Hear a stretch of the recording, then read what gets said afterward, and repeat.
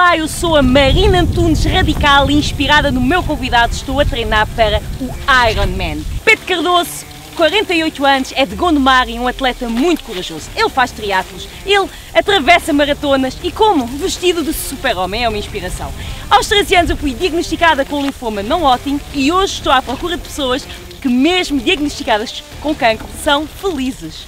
Porque eu acredito mesmo que é possível ser feliz no caos. E esta é a série. À procura do True Power! Não me canso de dizer que a tua vida tem de ser muito mais que sofrer, porque tu és.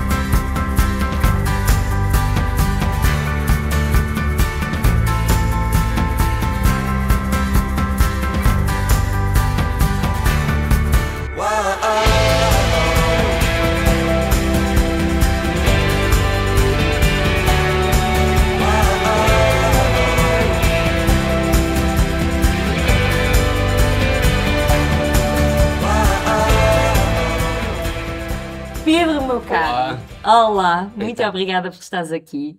Um tchim-tchim. Dizem que, dizem que não se prenda com água, mas a gente não acredita nisso. A gente faz a nossa sorte. Um tchim-tchim. Para começar, estamos aqui no Sucesso dos Grelhados, porque é uma zona muito bonita, onde tu treinas. Sim, Tu és aqui de Gondomar, não é? exatamente. Mas tu não cresceste aqui, Campanhã, aqui ao lado. em, em Campanhã. E qual foi assim, a tua memória mais feliz de infância? Lembras-te? Uma Eh, das. Pois, uma infância muito feliz. Tiveste uma infância muito. Que bom. E foi muito com a bicicleta no exterior e brincar cá na rua, que hoje em dia não se brinca muito. Tu lembras-te de, de receberes a tua primeira bicicleta e. Uma alegria grande. Então, como é que ela era? eu tive várias, hum, uma foram oferecidas, outras foram compradas com o meu trabalho quando era mais adulto, Sim. mas foi sempre o meu brinquedo preferido. E lembras-te da primeira vez que, que, que te sentaste numa bicicleta e que recebeste? Não me lembro da primeira porque comecei a andar muito cedo, mas lembro-me de fazer coisas radicais com as bicicletas, que eu era meio avariado muito da cabe- trabalho. muito. Muitas cicatrizes por causa da- das bicicletas. Sim. Mas isso vem de família? Tu, tu tinhas alguém da família que. Não, não, não. Uma paixão que surgiu. Sim, desde criança que foi até aos dias de hoje, felizmente. E tu ias de bicicleta em campanha para a escola, para todo lado? Como é não, que era? eu sa- saía da escola, vinha para casa, pegava na bicicleta. E andava sempre com a bicicleta para trás e para a frente. Foste apaixonante sempre. E é engraçado que lá no bairro era o, o garejeiro dos meus amigos. Portanto, qualquer problema que eles tinham, vinham à minha casa. É, porque hum, aprendi muito, não é? Depois li também, se calhar, o gosto pela engenharia. É isso que eu te... Porque depois tu não segues desporto. Tu, Não. como é que. O que é que... Eu, desde pequenino, que gostava de conhecer como é que as coisas funcionam. Ok. Desmontava, eras aquele que desmontava os raios. Primeiro começou com os legos também, uh, muitos legos, e foi sempre perceber como é que as coisas funcionavam. E então foi engraçado que a bicicleta montava, desmontava, montava bicicletas de- quase do, nada Sim. e ajudava os meus amigos a, a melhorar as bicicletas. Mas eu estou mesmo a imaginar que tu a desmontares o rádio e de repente, no início, não é? Sobrar a quatro peças e Fazia, Então, fazia algumas coisas, exatamente, estragava algumas coisas para Sim. fazer outras. Vai fazer outras. Exatamente. E depois então tiras engenharia. Sempre foi a minha vontade de ser engenheiro, talvez por influência do meu pai, que também o é, Ok. ah, mas sempre gostei de perceber como é que as máquinas funcionavam. Tu és um curioso nato, aliás. Curioso e gosto de perceber como é que as coisas funcionam. E depois, eh, profissionalmente, como é, que, como é que as coisas. Ah, como eu disse, portanto, engenharia sempre. Sim? Nunca tive hesitação, que hoje assisto muito aos jovens não sabem bem o que querem, ou querem muita coisa, e eu sempre fui engenharia. Depois veio a paixão pelos automóveis, ah, portanto, máquinas, motores e segui para a faculdade. Sim. Ah, acho que foi sempre foi uma, uma coisa muito boa que me aconteceu, foi eu saber bem o que quero. Eu desde o início gostava de quero uma coisa e vou lutar por ela. Mas tu é, e já vamos perceber que a tua história de vida é absolutamente fascinante. Sim. Fascinante. Fascinante. És, és um homem com muitas vidas, já É viveste verdade. muita coisa. Aos gatos, não é? Como aos É gatos. verdade. Espero ainda ter algumas para usar. Tens, então não tens. Ah, mas mas tu, tu és uma pessoa muito focada e muito Sim. decidida. Às vezes demais. Às vezes mais. Porquê às vezes mais? Porque persigo muitos objetivos que luto e não descanso enquanto não atingir. E achas que às isso vezes- às vezes dá trabalho e lidar com o insucesso também é preciso aprender. Eh, mas, temos que, mas temos que perceber que o insucesso faz parte das tentativas, não é? Não se, não se chega a lado nenhum sem errar, mas tens alguma dificuldade em lidar com, com o erro? Sentes Gosto de ter sucesso. E estamos no sucesso dos grelhados, portanto, Exatamente. gosto de ter sucesso e luto para que isso aconteça. E depois, quando tu recebes o teu diagnóstico com 34 anos, Saudável, saudável, perfeitamente saudável. perfeitamente saudável, um carcinoma, na- um cancro na gengiva, Gengiva, exatamente. um carcinoma, não é? E, e, e de repente a tua mulher estava grávida da tua É primeira ou segunda filha? Segunda filha. Da segunda filha. Você estavas no A auge, primeira filha era muito, tinha 3 anos na tinha altura. 3 anos. E, portanto, foi um cenário complicado, Complicado. ou muito complicado, para Sim. ser honesto. Ah, em que o mundo desaba, portanto, são termos que toda a gente tem este diagnóstico, usa, ah, e foi um- uma pausa na vida, portanto, foi uma situação totalmente inesperada, porque ah, também eu cuidava da minha saúde, portanto, eu não tinha comportamentos de risco, Ok. que é, além da idade, o comportamento de risco eu não tinha. Já Portanto, fazes triatlo na altura? não, fazia ciclismo apenas, Ciclismo, isso vem tudo depois. tudo depois. Nesta altura é exigido, é- é-te exigido que, que o Pedro focado apareça, não é? Porque tens Exatamente. aqui uma missão e como é que ele surge? Surge logo ou há aqui um Eu, processo? eu acho que primeiro há que fazer eh, o encaixar da notícia, que é um processo violento, Sim. demorado e que muitas vezes não, não é percebido. Portanto, ainda, Ok. ainda fica, fica essa questão connosco, acompanha-nos na vida. Não é? Ok, Ah, mas rapidamente me foquei na solução, em, foquei em, em ultrapassar os problemas. Ah, entretanto, pensávamos nós que conhecíamos a doença, que sabíamos que o cancro ah, que só acontecia aos outros e que, ok, faz-se uma cirurgia, um tratamento e está lá, está resolvido. E, portanto, fui aprendendo à minha custa, ah, porque o sofrimento também é solitário. sim, por mais pessoas que Muito tenhamos à volta. solitário e Claro. tem que, temos que ser nós a virar, Sim. a ter iniciativas a resolver. Uh, foi um processo muito demorado a perceber que não é só este, é uma maratona, não é uma corrida de 100 metros. Exatamente, porque neste processo todo fizeste muitas operações, mais de 10 Fiz operações, operações, mais de 10 operações. algumas delas muito complicadas, mas sempre na perspectiva de solucionar o problema. Mas Pedro, e eu tenho que te perguntar isto, e, e- e porque vai, vai de acordo depois àquilo que nós vamos falar. Que tipo de paciente é que eu tenho, eu tenho um feeling? Que tipo de paciente é que tu eras? Eras aqueles que chegava, calava e ouvia? Ou Eu, eu, eu, eu diria que era um paciente impaciente. tenho a certeza E, e também era uh, um, eu agora digo, costumo dizer que sou um doente profissional. Gosto muito dessa, um doente. Essa é muito boa. É verdade. Ah, eu também sou. Olha, eu exatamente. Só porque, com a experiência que eu tenho no meu currículo de doença, portanto, dá-me essa- esse currículo, esse, essa licenciatura em Mas doença. os médicos, quando viam, começavam já. Olha, lá veio o doutor Pedro. Aí, sei aí, é que entra, aí é que entra a nossa abordagem ao problema. Eu tenho Ok. que conhecer o problema. Então eras um, um paciente, és um paciente porque já andas nisto há 14, Quase 14 anos. 14 anos, super informado, que Informava-me e questionava. Eu precisava de feedback. Eu precisava de, de perceber o que, que era e aquilo que eu podia fazer, porque aquilo que nós não conseguimos fazer, eh, mesmo que queiramos, não conseguimos, não, não dominamos. Portanto, porque se fosse assim, resolvemos a doença de um dia para o outro. exatamente. E, portanto, foi sempre uma, uma, uma- abordagem de conhecer o que, que era a doença e o que é que eu posso fazer. E sempre com a, com a, com a noção, que eu acho isso muito importante e eu eh, concordo 100%, que é nós fazemos parte do nosso processo, não podemos estar à margem dele. Até que te dizem, Pedro, tu nunca mais vais correr e tu dizes, vou me inscrever no Ironman. Isso começou, começou numa fase aguda da doença. Como é que isto acontece? ah, em que eu tive, se calhar, num mesmo dia, um conjunto de, de emoções muito complicadas e um conjunto de nãos e de falta de futuro. em que me diagnosticaram e quase que me emitiram um, um atestado de invalidez, quase. E foi, foi a receber esta Foi um informação. momento muito particular em Ok. que eu já queria voltar a, a- ser o Pedro que era antes e foi-me dito por várias pessoas num curto espaço de tempo que não era viável. Então vamos, vamos trabalhar. Vamos eh, dizer a estas pessoas que estão enganadas. Isso é, E aí é que começa. e é que começa. Eh, foi num contexto muito complicado, como disseste há bocado, portanto, a minha mulher tinha sido mãe eh, da minha filha, da segunda filha, em que eu queria voltar a andar de bicicleta e tive outras complicações de saúde que pensaria eu que era doença, portanto, cancro. Felizmente não era, mas era uma doença que, ou uma condição física, melhor dizendo, que me ia limitar o desporto. E eu, para mim, isso não existe. Isto é, não pode ser. Então vamos fazer Desporto aquilo. sempre foi a tua salvação. Sempre, Sempre foi. foi uma pessoa dinâmica e que não fazia mais desporto na altura porque o- o- a fase da vida e do trabalho não me permitiam assim muito, mas sempre tive atividade. Mas então, de repente recebes muitos n- nãos, estás com. Estás, sentes-te. eh, Estão-te a dizer que estás limitado. mas não eram nãos eh, normais, eram nãos de nunca mais. Nunca mais. O, o é, não é possível hoje ou este ano, para o ano vamos ver, era nunca mais. Então, e como é que tu, tu de repente tens que gerir isto, decides, eu não vou aceitar isto, eu vou. Eu vou Eu vou mostrar, eh, eu vou falar em português, eu vou mostrar estes gajos que estão todos enganados. e então o que é que tu A fazes? primeira decisão, e acho que se calhar foi a, a primeira de muitas muito importantes, foi comprar uma máquina eh, para reforço muscular, que eu tinha perdido cerca de 20 quilos eh, e todo o vigor que eu tinha de um jovem de 30 e tal anos desapareceu.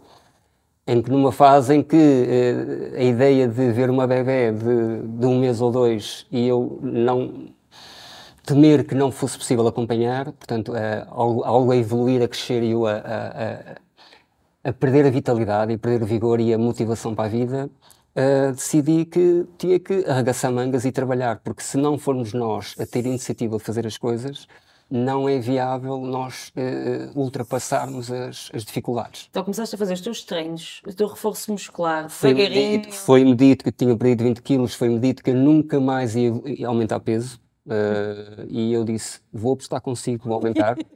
E, portanto, Diz-me que apostaste um jetarinho, pagaram tudo. não, não, não, mas foi um processo também de. Porque aqui entra a questão da disciplina. Eu todos os dias acordava, eh, não digo motivado, mas focado em tenho que tratar de mim. Em, eu, como sou uma pessoa que estou sempre eh, a ver à frente, foi uma fase em que eu só via o dia, dia a dia. Eu estava focado naquele dia, eu tinha que fazer isto. Eu todos os dias tinha que tratar de mim. E aos poucos foste integrando e foste melhorando e entra o triatlo na tua vida. E entra É primeiro, uma grande loucura. e entra primeiro assim, eu quero voltar a andar de bicicleta. Começas pela bicicleta. E então foi aí que me disseram: anda a bicicleta só à beira do rio, eh, a passear, não estraga o que tens. E tu decidiste barrilhar para o mar. E eu disse assim: não, eu vou conseguir.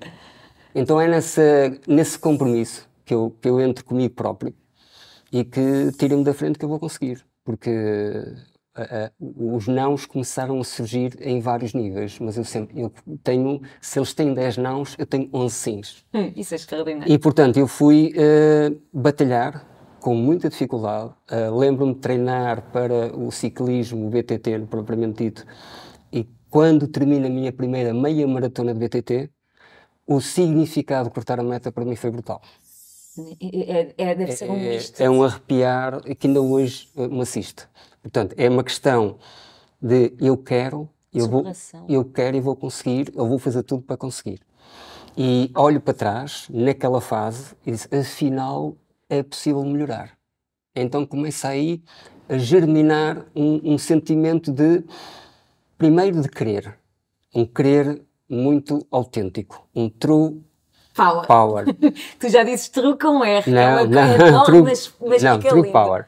True Que é, power. que é querer fazer. Querer fazer. E primeiro querer, depois e com a disciplina.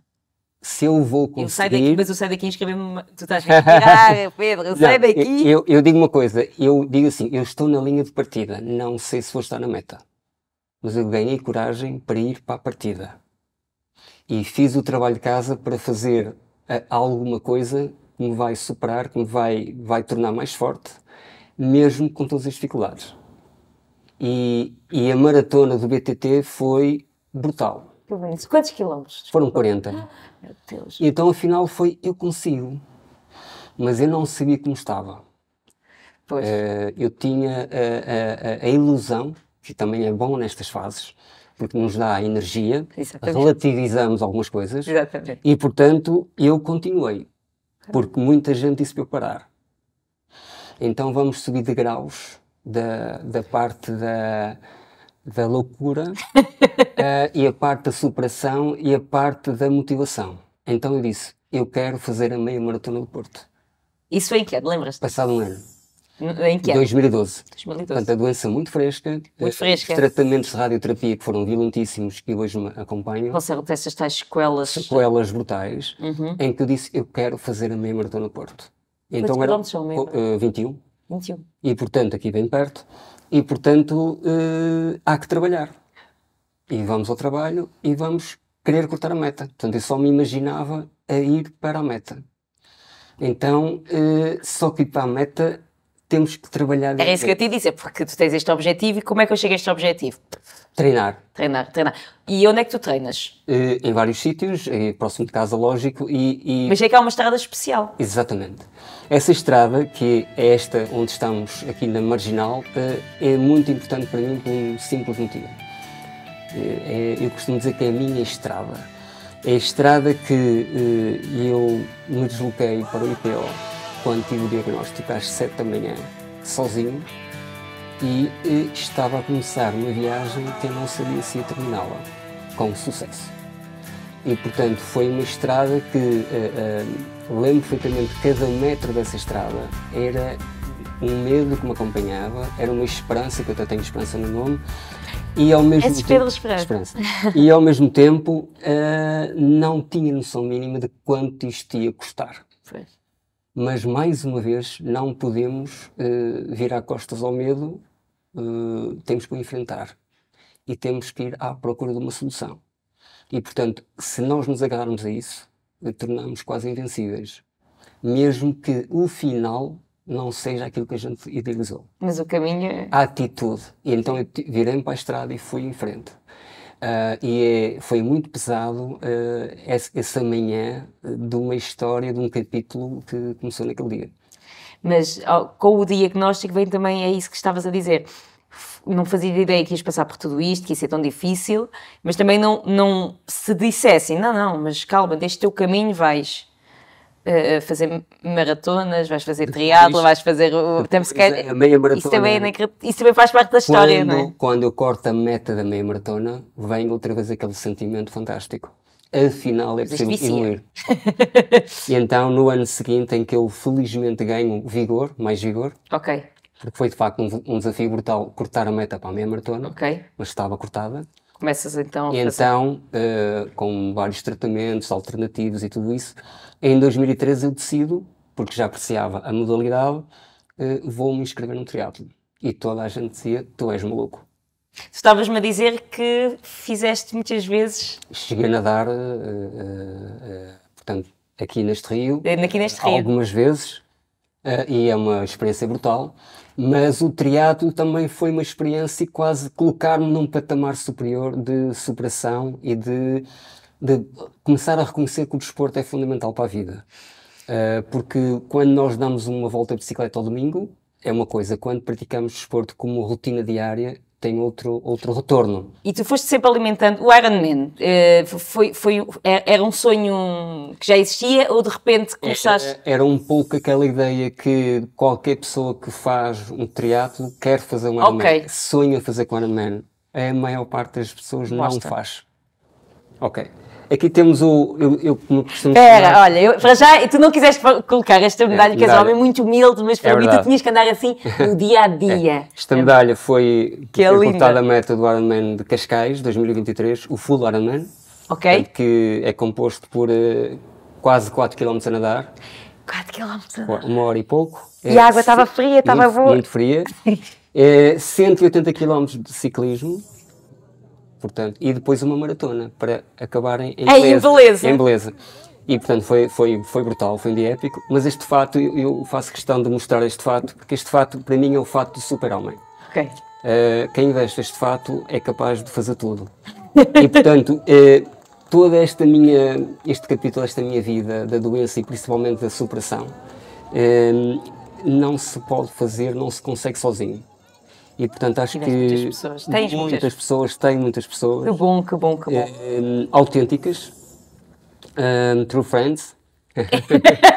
e portanto eh, eu fiz questão de montar um fato que pudesse, de certa forma, significar um, um obrigado. Quem é que tu queres agradecer assim de Olha, a família, como é, é base de tudo, as minhas três mulheres, eh, os clubes que eh, me, quem- levaram, me levaram muito longe, me pux- puxaram por mim, me desafiaram, que é que ganhar tempo? pararam por mim ah, nos dias em que eu não estava tão bem e que me. clubes são? Eh, Portanto, estamos a falar dos marretas, estamos a falar dos magriços, diz-me e, e o meu clube de triatlo académica de São Mamed, que já fez 10 anos que estou a praticar Que triatlo. bonito. E portanto, e aqui a parte esportiva tem a ver com pessoas que me ajudaram na componente esportiva, que é muito importante. Ai, foste tu, tu, tu, ai, tu, tu escreveste os nomes Os mesmo. nomes das pessoas que me ajudaram, muitas vezes por gestos, e um gesto vale ouro. Natália Rodrigues, Duarte Silva. Estamos a falar da. Natália, o Duarte, a Sofia, o Nuno, o João Barbosa e o Projeto Pedal. Portanto, Todas estas pessoas te impactaram. Além de o treinador do triatlo para o Ironman, eh, também muito, muito importante, o próprio equipamento da Digarda, todo- toda a gente me... Bonito. Porque compreendes que para fazer uma prova destas é preciso uma logística pesada, não é? Eh, e falámos preciso da reunir-me reunir de muita, muitos apoios. A maior parte dos atletas procura o triatlo, sejam principalmente os atletas adultos, normalmente fazem-no por uma questão de superação, superação pessoal, de vencer eh, barreiras, criar objetivos que de certa forma os desafiem. Eu quando comecei eh, como treinador aqui na, na académica, o Pedro já treinava aqui e não conhecia a sua história, né? Portanto, era um atleta, tal como qualquer um dos outros adultos. Depois o Pedro conversou um bocadinho comigo e, e contou-me a sua, a sua história, a forma como tem estado a, a lutar e a lidar com, com a doença que tem. E eh, fiquei desde logo com uma enorme admiração pela força de vontade. Portanto, para qualquer pessoa, o triatlo é um, um objetivo muitas vezes ambicioso. No caso do Pedro e como outros, eh, atinge um outro patamar, essa, essa forma de estar também positiva e eh, de vencer eh, determinadas barreiras. No caso do Pedro, essas barreiras serão certamente mais desafiantes e essencialmente essa, essa força de vontade é aquilo que mais eh, destaco. O Pedro, ano passado, fez um. propôs fazer um desafio ainda maior, que foi completar um- uma prova de Ironman. Uh, para quem não conhece a distância, é uma distância de 3 km 800 a nadar, 180 km de ciclismo e termina com uma maratona, que são mais 42 km a correr, o que é um desafio gigante para qualquer, uh, qualquer mortal, digamos assim. Claro que existem atletas de, que estão altamente treinados para estas distâncias, treinam diariamente e são profissionais destas distâncias. Mesmo para esses atletas, vemos muitas vezes uh, claudicar antes da linha de meta, a não conseguirem concluir provas. Portanto, qualquer atleta que pise aquela linha de meta, seja com que tempo for, é um, um desafio gigante. E o Pedro propôs uh, a completar esse desafio e completou com sucesso.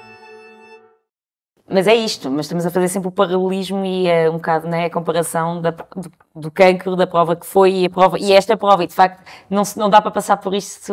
Não, sozinho. Uh, tive alguns amigos também que me cederam material para a bicicleta uh, que fizeram toda a diferença. Mais uma vez, o gesto deles foi muito nobre. Mas gostavas de ter de falarmos sobre isso em off. Eh, era importante ter mais apoios para Sim, estas iniciativas. fundamental. Por exemplo, diz-me. Eu, eu gostava muito, eh, depois de ter cortado a meta, percebi que aqui há quase uma obrigação moral minha, eh, porque também é uma terapia para mim, mas o facto de mostrar que é possível superar, cortar metas, mesmo com condições limitadas, com dificuldades, é fundamental nós termos as condições para espalhar essa mensagem. Eh, e o triatlo exige um conjunto de investimentos e um conjunto de apoios ehm, que são consideráveis. Portanto, estamos a falar de três modalidades que são bastante exigentes. E era muito importante teres mais apoios mais para apoios ir para que estas provas. nestas provas ah, distribuídas pelo país eu pudesse, eu quando visto este fato sinto-me Olha, eu, fa- eu, eu faço também aqui o apelo, espero que, que, este, que este episódio tenho a certeza que vai inspirar muita gente e ajudar muita gente, mas que também as marcas e as empresas se Sim, É. associem a ti e que te apoiem, porque de facto tu representas. é- És muito mais do que uma pessoa normal e comum a, a- a- a cortar a meta. normal, sou normal porque eh, Não, mas entendes? É, é- é muito mais do que isso. É, é, é Mostras de facto que não Sim. há impossíveis. É possível. É possível, é é possível superar as maiores dificuldades que nós temos. Não é fácil, mas é possível. E vai muito da atitude. E vai muito do compromisso e ao mesmo tempo da vontade autêntica. Mas há uma pessoa que tu. Mas este projeto, Sim. eu tenho que agradecer eh, ao Marco Amorim, Sim. porque foi ele quem me desafiou na prática a, a entrar numa viagem que quando eu dei o meu ok, eu sou muito assim, eu fiz por tudo para honrar esse compromisso. E é um bocadinho a minha forma de estar. Eu lembro perfeitamente em plena pandemia, o sonho do Marco era terminar um Ironman, ah, porque é um colega de doença, é um colega apaixonado também pelo triatlo e tinha o sonho de terminar um Ironman. Uh, e devo-lhe muito e este- esta, esta, esta meta, mais uma meta, mais um capítulo que, que, que terminei, uh, que era trabalharmos em conjunto, partilharmos dificuldades, mas partilharmos principalmente esperança que o amanhã vai ser melhor. Tu, tu, tu quando tu vives este momento, tu, tu vives este momento por ti, mas também por ele sempre. Por ele sinto muito, tanto é que aqui nas costas do fato tenho uma dedicatória ao Marco, pois tens. É verdade, eh, porque o Marco merece isso. E o Marco é uma, uma pessoa fantástica, uma amizade verdadeira. eh, e é também um lutador. Portanto, isto, eh, ele cortou a meta comigo. Juntos é tudo um bocadinho mais fácil. E depois tu tens inspirado e ajudado muita gente e é muito bonito porque tu treinas com a tua É filha, verdade, a mais velha, a mais velha, que já está a ficar também viciada nisto. ela já está mais viciada que eu. isto passa, isto Passa, passa, e ela passou gente. bem, ela passou bem. Ela, mas ela está no triatlo, ela, ela já participou no Ironman, não? Ainda, Não, ainda não pode. ainda não pode. Será um objetivo e eu acredito que ela tendo Com visto... 17 aninhos, não está? 17, vai fazer 17. Eu acredito que ela ter, tendo visto o pai eh, foi uma motivação extra de que de facto é possível, eu também quero. E portanto isso é, é fantástico. Agora, eu- a- minha filha nisto tem muito a ver a passar os valores de- de- de- do desporto, Claro. como um modo de vida, como E- bem-estar. E é uma oportunidade para vocês terem mais tempo juntos. É verdade. eh, Eu sei que esse também é um dos teus grandes É um dos objetivos. grandes objetivos, mesmo, mesmo com os nossos atritos e as nossas questões do desporto. É fundamental. Ela é outro, ela é de outro clube, não o teu. Não, é do, é do meu clube Ah. e, e- e já me é ultrapassa, inadmissível. já me ultrapassa eh, em- na natação, já não tenho andamento para ela. Espetáculo. É verdade, ela está muito Quando o aprendiz ultrapassa o mestre, isto é, a É melhor verdade, coisa mas do ela está muito competitiva e está muito motivada. E eu acho que isso é muito, muito bonito de se ver num jovem E vais buscar também energia nela. Vou- Vou-me re- revendo nela, ela vai, vai se revendo em mim. Mais me orgulho no meu pai. Eu acho que não tem assim uma característica específica porque ele tem faz imensas coisas tanto na vida pessoal como na vida de trabalho, no desporto também. Depois de tudo que ele passou, eu acho que é algo não tenho palavras para explicar porque ele está sempre lá para a família, nunca nos deixa faltar nada. Sempre teve essa preocupação comigo, com a minha irmã, com a família em si. E depois de ele ter feito, superado tudo que lhe aconteceu e ter conseguido cortar a meta do Ironman, não só por ele, como ele diz muitas vezes, mas pelo projeto e pelo seu amigo, acho que isso diz tudo sobre a pessoa que ele é. Eu sinto que os treinos são algo que é o nosso momento, nós sabemos que saímos os dois de casa, muitas vezes quando vamos, especialmente de bicicleta ou sozinhos, quando vamos sem destino, estamos só ali os dois na estrada e é uma maneira diferente de passarmos tempo juntos. Claro que temos o tempo em casa, a rotina pessoal, mas os treinos são sempre aquele momento em que estamos só nós dois e a passar pelo mesmo, a treinar para o mesmo e com os mesmos objetivos também. Numa primeira prova, nós cortamos a meta juntos, o que nunca tinha acontecido porque não, eu não tinha idade para fazer as provas da distância sprint. E acabar uma das primeiras provas que eu fiz de mão dada com o meu pai a cruzar a meta e depois de tudo o que ele também passou é algo gratificante para nós dois. Eh, e é esta partilha de- dos bons momentos, porque nós, quando estamos no ativo, na empresa ou no trabalho, muitas vezes a família é colocada como segundo plano. E, e a própria viagem para o Ironman eh, foi uma viagem também muito solitária. E, portanto, eh, este- nesta altura, já com a medalha ao peito, eu quero, de certa forma, também agradecer à família que foi muito importante neste processo e poder estar com ela mais tempo. Olha, já estamos a, já estamos a terminar aqui a nossa, a nossa conversa, mas eu, eu queria te perguntar qual é assim o teu, tenho a certeza absoluta que já tens mil objetivos e depois do Ironman, qual é o, qual é o próximo? Não é dois Ironmans, não é três, é, é, Qual é assim, o teu grande projeto, o teu grande sonho, o teu próximo objetivo? é assim, é- é- o desporto tem, ajuda-me e foi sem dúvida a grande diferença na combate à doença. Eh, e acho que isso é uma mensagem que eu sou prova disso. Eh, eu quero continuar a, a fazer desporto. O desporto faz bem, o desporto faz-me estar mais forte, o desporto dá-me foco, dá-me saúde e dá-me bem-estar. Portanto, o desporto tem que continuar a fazer parte da minha vida. E, entretanto, a mensagem é de que nós somos capazes de coisas fantásticas. Uh, mesmo tendo passado por grandes dificuldades, essas memórias ficam, mas ficam muito mais as memórias de cortar a meta. Mas há, mas há alguma.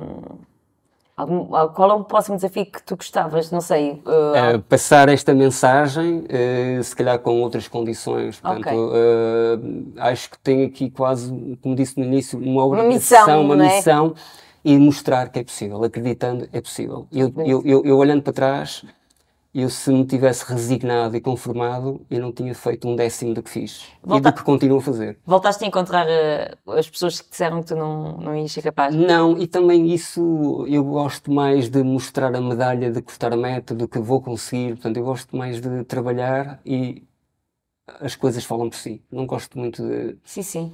Acho que é muito importante trabalhar e fazer o trabalho de casa e depois esta medalha para mim tem um valor incalculável, não é? como podes imaginar, e portanto não.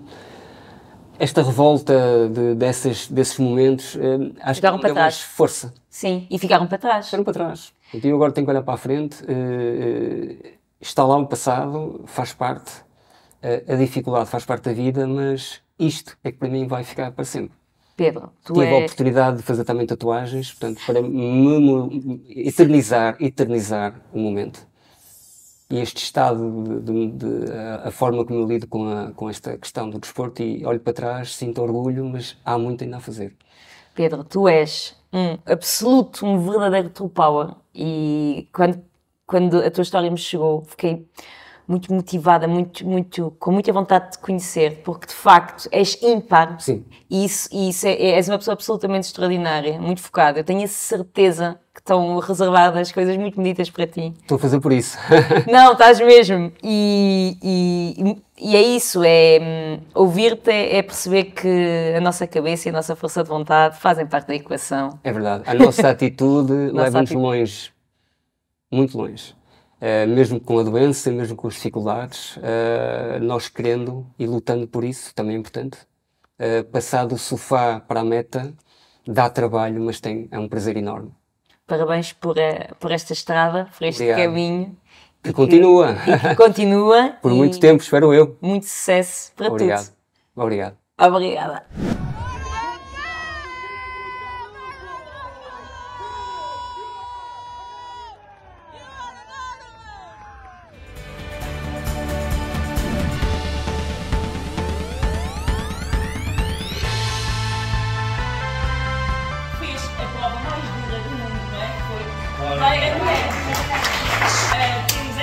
Surpresa muito especial que eu, que eu, que eu, que eu quero, que eu já sabe. Mas que eu estou muito emocionada. já! Depois já. Olha, mesmo Portugal. Apaixonou-se pela história do Pedro. Vai apoiar a próxima prova dos tempos em Uganda. que vai estar.